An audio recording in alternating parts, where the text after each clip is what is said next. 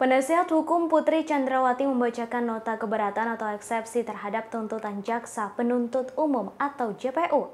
Dalam nota pembelaan itu disebutkan Brigadir J meminta tolong kepada Putri Chandrawati, tetapi diikuti kalimat Brigadir J memberikan ancaman.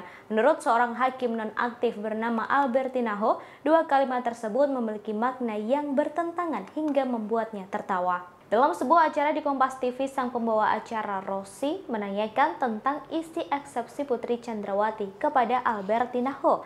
Eksepsi yang ditanyakan adalah perihal Brigadir J yang meminta tolong. Menurut Rossi, orang meminta tolong menunjukkan sedang berada dalam posisi lemah tetapi diikuti kalimat ancaman untuk menembak. Mendengar dua kalimat tersebut, Albertina tertawa. Setelahnya, Albertina mengatakan kalimat-kalimat itu seharusnya dibuktikan oleh penasihat hukum, bukan di dalam persidangan. Bukti di dalam persidangan merupakan kata kunci penting bagi Albertina untuk melihat kasus pelecehan Putri Chandrawati di Magelang. Albertina menambahkan jika kalimat itu tak bisa dibuktikan, maka juga menjadi pertimbangan hakim. Masuk akal atau tidaknya kalimat-kalimat yang muncul akan menjadi pertimbangan. Albertina menilai ada kejanggalan soal pelecehan atau pengakuan Putri Chandrawati dilecehkan oleh Yosua. Lebih lanjut, ia menekankan adanya pelaporan ke polisi jika memang terjadi pelecehan.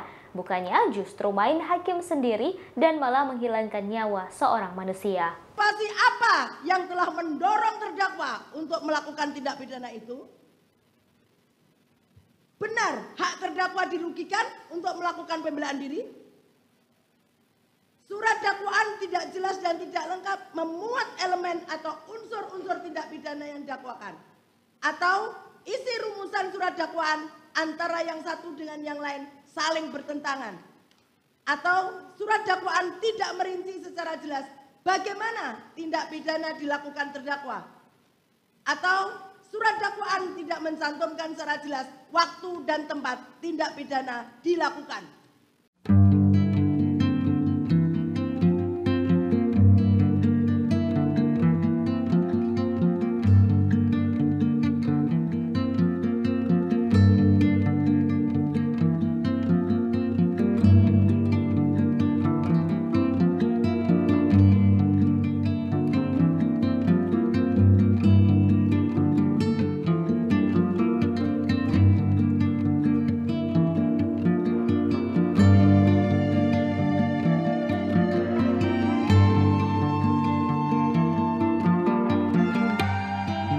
Demikian informasi kali ini terus saksikan kanal YouTube Tribunnews untuk mendapatkan informasi terbaru lainnya.